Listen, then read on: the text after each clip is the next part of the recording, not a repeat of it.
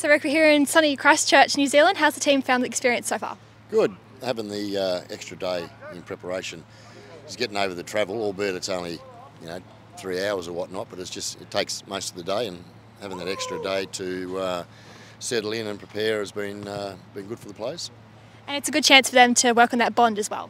Yeah, absolutely. They travel well, the boys. So you know, I've never got any issues in regards to their you know, them handling the travel, enjoying the travel. They're uh, they enjoy one another's company, and um, uh, you know they have, it's good seeing them laugh and enjoy one another's company.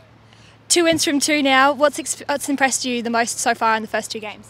Probably our discipline, I think, and there was uh, times in both games there we had to show some uh, a little bit of mettle, um, especially last week when the Tigers scored two quick tries and came back to 14-12. So um, you know, we showed some uh, showed some strength in our defence, I thought, and um, instead of panicking, we uh, just consolidated and, and, we moved forward from there and, and, and, went on won the game quite well. So that's for me as a coach, that's that's important.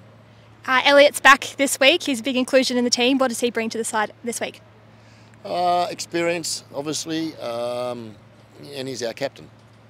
The boys all love playing with Elliott. Um, it gives me a opportunity to, to give Zac some uh, time on the bench and um, he'll come on at an important part of the game and, and then continue on his form that he's had over the last two weeks. Seb Kris was ruled out this week with concussion, but Hopper's back in the centres and Nick's back on the wing. Same side as round, same back line as round one. Does that help with the defensive mindset as well? Oh, look, you know, I think as a unit on the edges, um, we've all got the mindset of what we need to do from our process point of view with defence.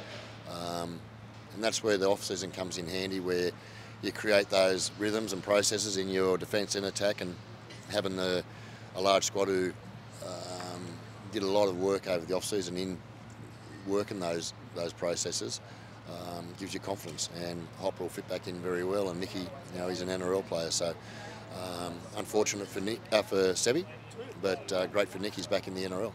A big milestone for the club this weekend with Hudson Young playing his 100th Raiders game. He's really a character that bleeds green.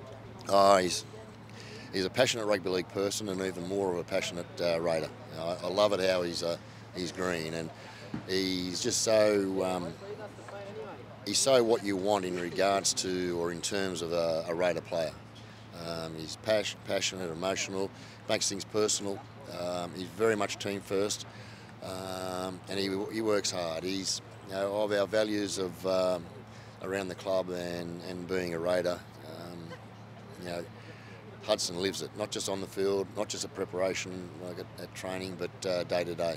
You know, he's a uh, he's a great bloke to coach. Does it give the side extra motivation um, to do it for Hudson? Well, it should. We've spoken about it this morning.